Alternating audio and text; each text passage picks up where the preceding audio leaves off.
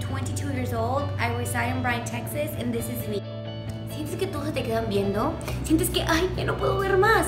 Prada, Prada baby. Descubre tu moda interior con Prada Lente. Are you sad of working all day and not being able to look fabulous? I dare you to buy Scandalize with Scandalize.